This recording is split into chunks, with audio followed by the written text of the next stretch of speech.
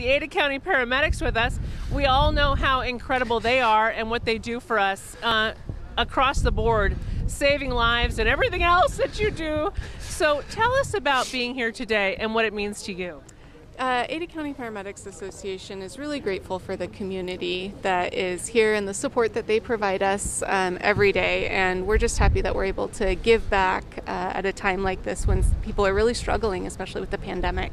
Yeah, absolutely. It has been really rough. And I know you guys have been working so hard. Yeah. And we just couldn't do it without them and our doctors and our nurses and all of our healthcare heroes, our first responders who come and take care of us when we need them the most, especially during this pandemic. And you know, Maggie, this uh, doing with what they're doing here to help this event out, they're saving lives in a different way. yes, they are. You know, so it's really great helping people, you know, have the nutrition that they need. So we mm-hmm. really, really appreciate your donations. yeah. Thank you so much for allowing us to be a part of this. Oh, well, well, you know, we couldn't do it without you. Every year, you know, you're always a part of it. So thank you to the Ada County paramedics for their donations and their help for us. We really appreciate you all. Thank you so much for everything you guys are doing today. This is a really great opportunity for people to come down and donate. It really An is. An ambulance full of food. It was An awesome. ambulance full of food. That's what we're looking at here. So this is pretty incredible. All right.